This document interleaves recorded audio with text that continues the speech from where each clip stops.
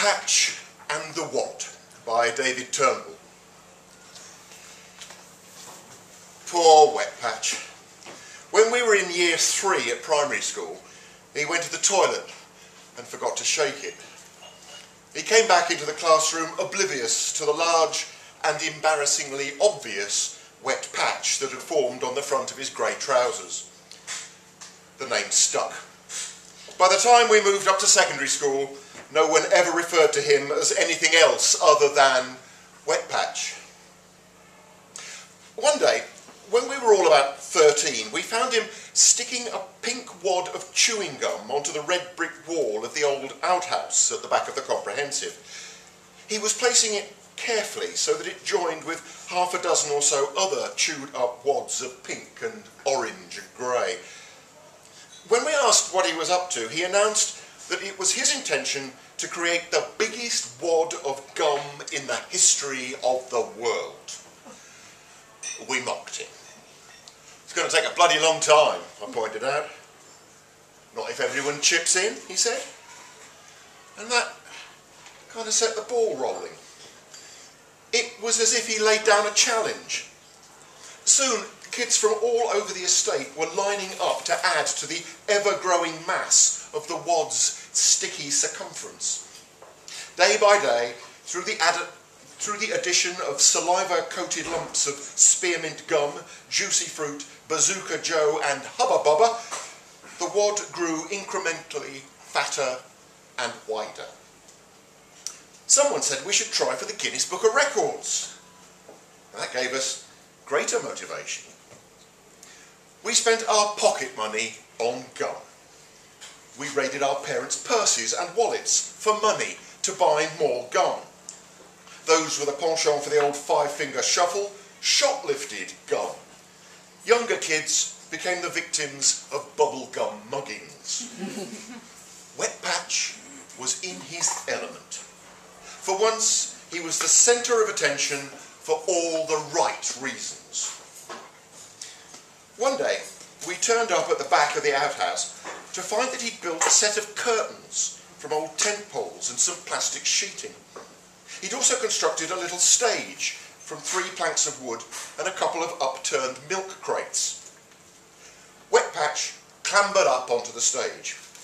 We all stood with our arms folded, diligently chewing gum we'd brought as our tributes for the day. Ladies and gentlemen, announced Wet Patch, may I present for your delight and delectation the magnificent and awe-inspiring gigantic wad of gum. He pulled at a length of string and the plastic curtain fell open. There was the wad, bigger and pinker than ever. It looked like a full moon in a hallowing sky, wetly gleaming, littered with craters and crevices. Step right up, said Wet Patch from the vantage point of his makeshift stage. Pay in gum and watch the wad as it grows and grows. It became a thing each day, Wet Patch would climb dramatically onto his stage and put on a show, throwing in ever more ambitious adjectives into his increasingly melodramatic introductions. One day the wad might be outstandingly astounding. The next it would be a miraculous magnificence. The day after, a feat of fantastical phantasmagoria. In turn, we chewed and stuck and chewed and stuck till our jaws ached. The bigger the wad became, the more palpable the sickly scent that hung in the air around it. The sugary aroma attracted bluebottles and wasps and huge hovering clouds of midges. They became trapped within its gummy pinkness there were days when the wad looked like an aerial view of the Somme, trenches and foxholes littered with thousands of insect corpses. The wad consumed the husks and cadavers, assimilating them under oozing pink tendrils. Wet Patch decided we should bring it live offerings. We would kneel before the wad, with a woodlouse or a ladybird held between our grubby index fingers and press our sacrifice to the wad before spitting gum from our mouths to increase the rubbery mass. The wad had expanded into an erratically sprawling disc, spread out in a ragged circumference that must have stretched a good three or four feet across the brick wall. When Wet Patch made his announcements and pulled back his plastic curtains, we knelt down before it, as if we were Aztecs supplicating the sun god. One day, one kid got herself caught up in her undone shoelaces. As she tripped and fell, she scraped her hand on the uneven surface of the little tar path beneath the wall. The gash on her palm began to bleed.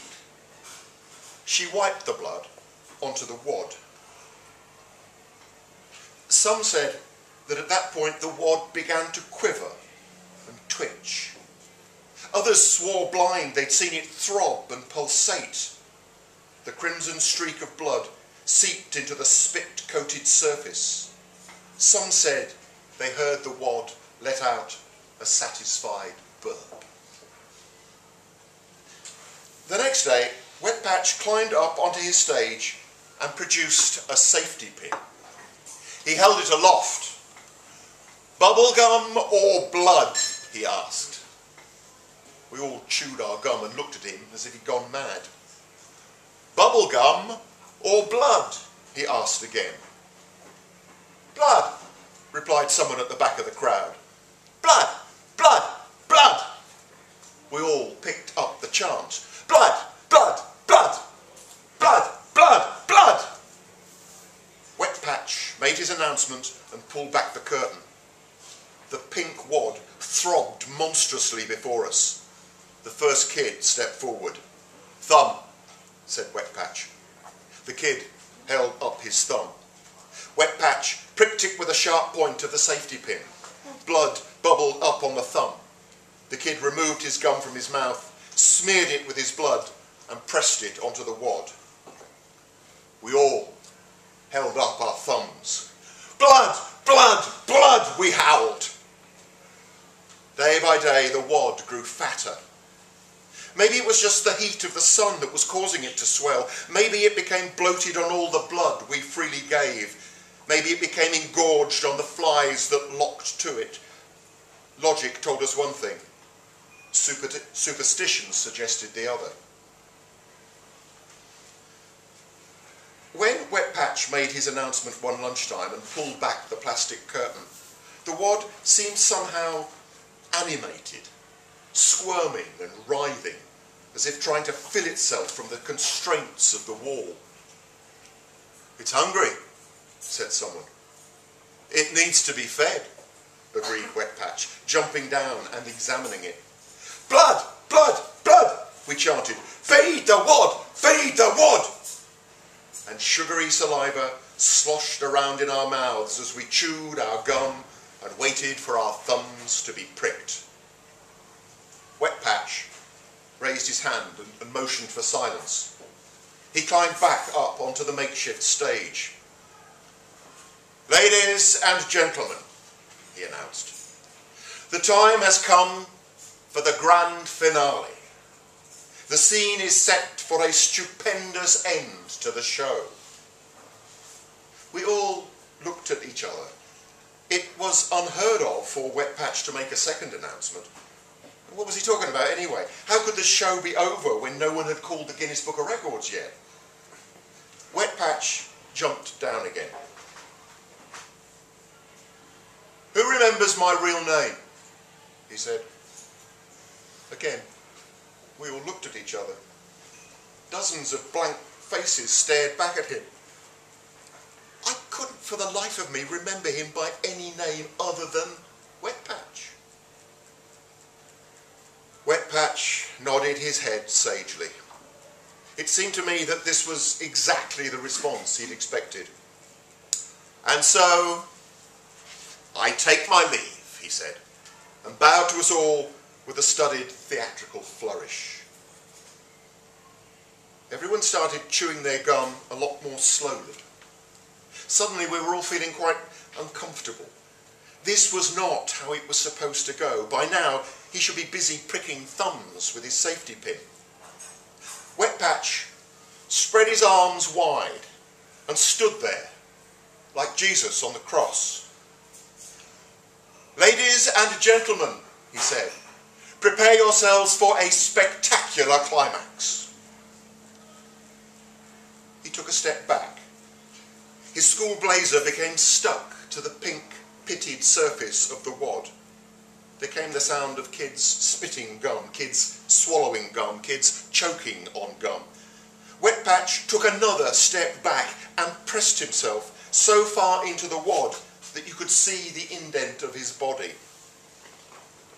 Strands of gum crept like tiny fingers into his hair. Pink tentacles entwined themselves almost tenderly around his legs and arms. Did the wad fall from the ground through the gravity of its own weight? Or did it fall around Wetpatch like some monstrously ravenous predator? Who knows? But fall it did. And Wetpatch fell with it, twitching and convulsing as it smothered his face, blowing huge pink bubbles as he expelled the last dregs of air in his lungs. His fall smashed the planks on the makeshift stage and brought the curtain frame clattering down. The momentary spell we were under broke with the shattering. In a chaotic frenzy, we pulled and clawed at the wad, yanking back stringy pink strands, curling our fingers into the gooey mass that encompassed his face, trying to clear a space to allow him to breathe. Each of us almost overcome by the intense sugar rush of the syrupy stench that rose from the pulsing wad but it was too late.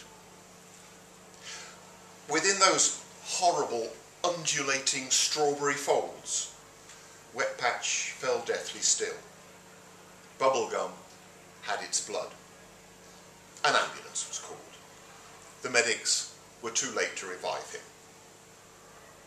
I heard that they had to put him into the mortuary freezer so the gum would become brittle enough for them to chip it away from his suffocated corpse. There was an investigation by the police. This was followed by an inquiry by the Education Authority. Both proved inconclusive. Death by misadventure was the coroner's verdict. The misadventure was ours. Wet Patch engineered it that way. I visited his grave often over the past 40 years. All the world is a stage, reads the fitting epitaph his parents had carved into the granite. I chew a piece of gum and stick the wad to the headstone. It's not disrespectful. It's an act of atonement. At least I come. At least I remember his name.